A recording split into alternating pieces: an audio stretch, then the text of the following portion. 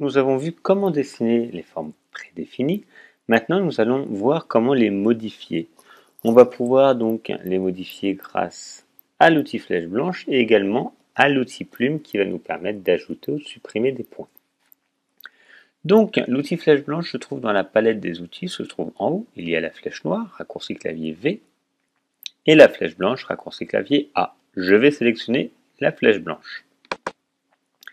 À ce moment-là, si je clique sur une forme, vous voyez, ici, là, c'est un rectangle. Donc, il y a quatre points. Il y a un premier point ici, un deuxième point là, un troisième point ici, et un autre, un quatrième ici. Si on regarde par défaut ici, j'ai cliqué, le point est blanc. L'intérieur du point est blanc. Ce, ce qui peut arriver, c'est que tous les points sont bleus. Si les points sont bleus, en fait, c'est qu'ils sont sélectionnés. Quand ils sont blancs, c'est qu'ils ne sont pas sélectionnés. Si je clique sur un point, voyez, maintenant il passe en bleu, contrairement à celui-là. Et je vais donc pouvoir, avec l'outil flèche blanche, attention d'être bien avec l'outil flèche blanche, le déplacer. Si je clique, je garde le doigt appuyé sur la souris, je vais pouvoir déplacer ce point, vous voyez. Je vais pouvoir également déplacer deux points. Je clique sur un point, j'appuie sur Shift, je maintiens Shift, et je clique sur le deuxième point que je veux. À ce moment-là, ces deux points vont rester identiques entre eux, et le logiciel va recalculer la trajectoire avec les autres. Si je ne veux plus qu'un point, cette fois je clique à l'extérieur, ça a tout désélectionné, je vais revenir sur le point qui m'intéresse. Comme ceci. Et je vais pouvoir faire la même chose sur toutes les formes. Toutes les formes prédéfinies que j'ai dessinées, je vais pouvoir les modifier. Vous voyez, par exemple ici, si je voulais avoir une branche d'une étoile plus haute, comme ceci. Ce qu'on peut faire également, je vais vous montrer, je vais le faire exclusivement sur un cercle. Je prends donc l'outil prédéfini, je dessine un cercle en appuyant sur Shift. Et le cercle est constitué de quatre points. Vous voyez là, les points sont bleus, ils sont tous bleus. Donc si je clique sur un des points, tout va bouger parce que tout est sélectionné. Moi, ce que je veux, c'est par exemple ne bouger que ce point-là. Je vais cliquer dessus. Si on regarde, ce point est bleu, contrairement aux autres. Je clique, je le descends. Donc là, en fait, on va pouvoir déplacer le point. Et on retrouve dans les courbes dans chaque courbe, en fait, il y a des tangentes.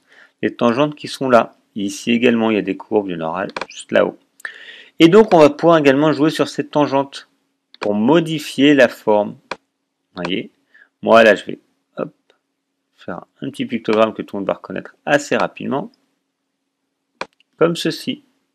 Donc là, en fait, j'ai supprimé les tangentes. Je mets un peu de couleur. J'ai supprimé les tangentes qui m'a permis d'avoir donc des lignes droites.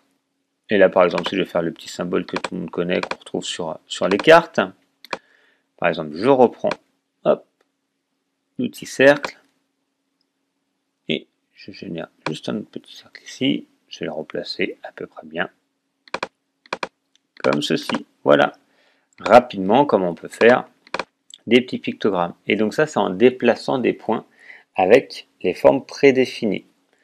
Je vais vous montrer, maintenant je vais reprendre un rectangle par exemple. Et ce qu'on peut faire également, c'est ajouter des points.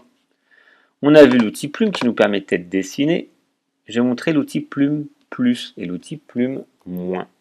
Si je clique longtemps sur l'outil plume, je vais avoir l'outil plume plus qui me permet d'ajouter des points d'ancrage et l'outil plume moins qui me permet de supprimer des points d'ancrage. Donc quand on va ajouter, en fait, on va cliquer bien sur la trajectoire. Vous voyez, automatiquement, ça génère des points.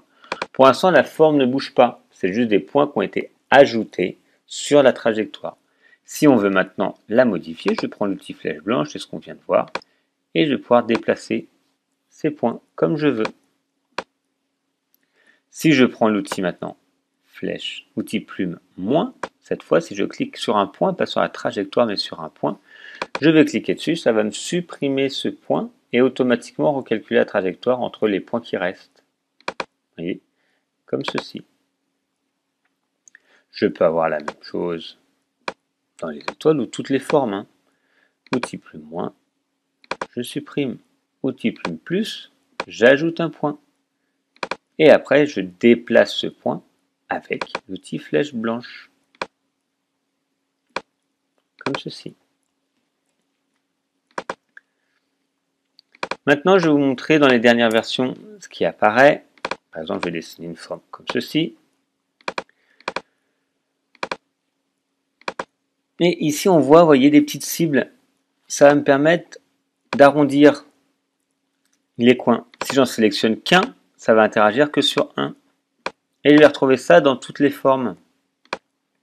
Également quand on dessine à la plume, mais là dans les formes, par exemple, je vais pouvoir modifier soit tous les coins du rectangle seulement une seule fois, soit sélectionner des points, là j'ai ces deux points qui sont sélectionnés, ou seulement un point, comme je veux. Par la suite, je peux revenir dessus pour changer.